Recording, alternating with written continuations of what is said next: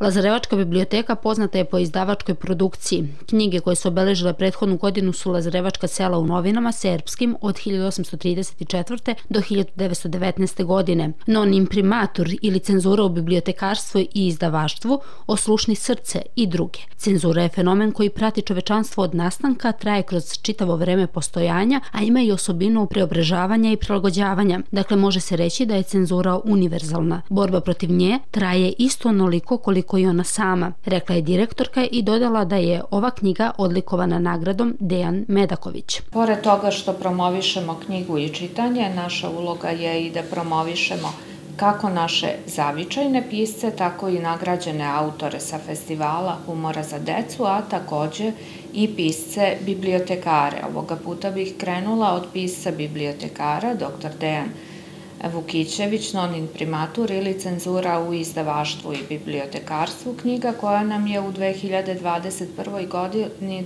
donela nagradu dr. Dejan Medaković, Reč je o e, knjizi koja je zaista kapitalno delo u sferi bibliotekarstva i bavi se pojmom cenzure, zapravo o istoriji tog pojma.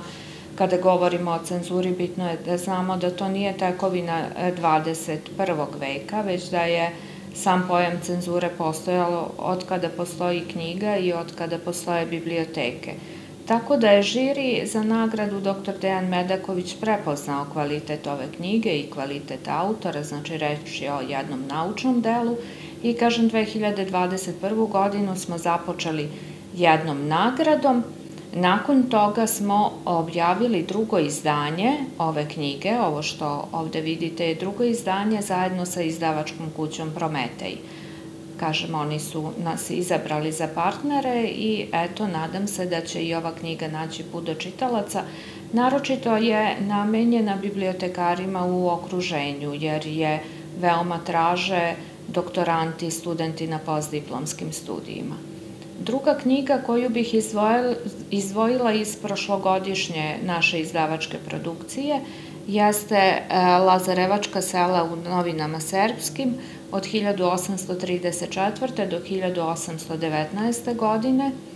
Reč je o zaista jednom kapitalnom delu, pogotovo kada je reč e, o našoj zavičajnoj istoriji. Autori su istraživači Dragan Milovanović i Milan Stojić. Zapravo knjiga je dvotomno izdanje koje je rezultat njihovog desetogodišnjeg istraživačkog rada. Oni su zajedničkim snagama prešli više od 120.000 strana, skenirali i izdvojili i e, dali e, uvod, odnosno dali e, uvodnu reč kada je u pitanju 34 sela Lazarevačke opštine, pored sela iz naše opštine, tu je i obrađeno selo Ćelije, koje je u, vremenu ka, u vreme kada su novine srpske izlazile, bilo u sastavu našeg okruga i naravno tu je Lazarevac koje je kao naseljeno mesto najmlađe, ali takođe mnogo prostora u novinama srpskim je posvećeno i Lazarevcu. Šta je ono što u ovom kažem, kapitalnom delu možemo pronaći. Reč je i o zavičajnoj istoriji, ali svaki čitalac može prošetati putem jel sobstvene istorije, istorije svoje porodice. Slavu ili Zmaj, reč je o zborniku radova posvećenih Dobrici Eriću. Tu imamo šest doktoranata ili šest profesora književnosti za decu kako na učiteljskom fakultetu, tako i na filološkom fakultetu, na fakultetu u Somboru i Kikindi. E, oni su dali e, svoje viđenje poezije Dobrice Erića, zaista jedno jako bitno delo za istoriju dečije književnosti i teoriju dečije književnosti uopšte. Priređivač zbornika je dr. Zorana Opačić, zahvaljujemo se Zorani.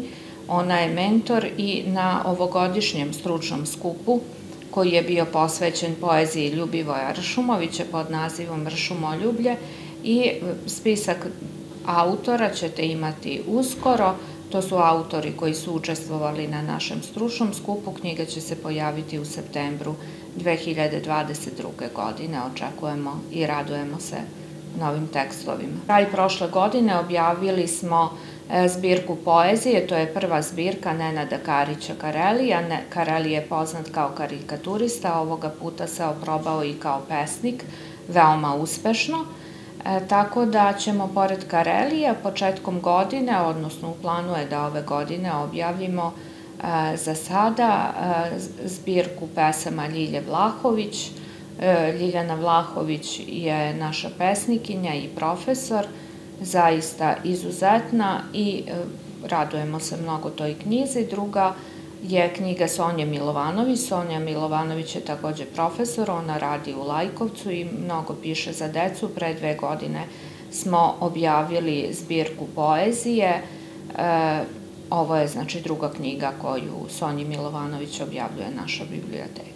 Pisci koji su posvećeni najmlađim čitaocima takođe su svojim književnim delima ovekovečili prethodnu godinu, a među njima su autorka Daniela Kvas i njena knjiga Recitanka, kao i knjiga Selo sas jedan padež, čiji je autor profesor Vlasta Cenić. Biblioteka Dimitrije Tucović izdala je knjigu Selo sas jedan padež kao nagradu autora za priznanje Zlatno gašino pero. Priznanje je dodeljeno za stvaralački doprinos sreći detinjstva, a njome je sagledan sveukupan rad Vlaste Cenića u oblasti stvaralaštva za decu koji traje nekoliko decenija, istakla je Ivanković. Mi smo izdavači recitanke, knjige koja je namenjena najmlađima, e, prvenstveno je reč o pesmama za recitovanje. Znamo da, da je Danijela godinama u žiriju smotre recitatora pesniče narodna mogu u Srbiji, tako da, eto, kažem, e, sve najlepše želimo Danijeli sa ovom knjigom. Druga knjiga koja je takođe namenjena deci je Vlasta Cenić, Selo sa sjedan padež.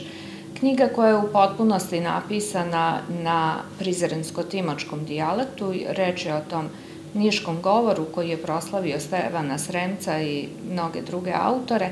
Sada, eto, e, pesme za decu, jedne, jedna simpatična knjiga koja se bavi detinstvom kakvo smo možda mi imali i kakvo su imali naši roditelji, koje je to strano deci, a jedan lep izlet u prošlost. E, Vlasta je izuzetan pesnik, inače i profesor srpskog jezika i književnosti i to je naš doprinos negovanju istorije srpskog jezika. Reč je o našem Zlatnom Peru, čoveku koji je dobio nagradu na festivalu humora za decu 2020. godine. U planu izdavačke delatnosti Lazarevačke biblioteke u ovoj godini je objavljivanje knjige pokojnog Minje Subote u saradnji sa Dečim kulturnim centrom Najlepše dečije pesme. Popularni Peđolino napisat će knjigu kratkih priča i crtica za decu koja će obuhvatati njegovo dugogodišnje iskustvo sa mališanima, izjavila je za GEM Jasmina Ivanković.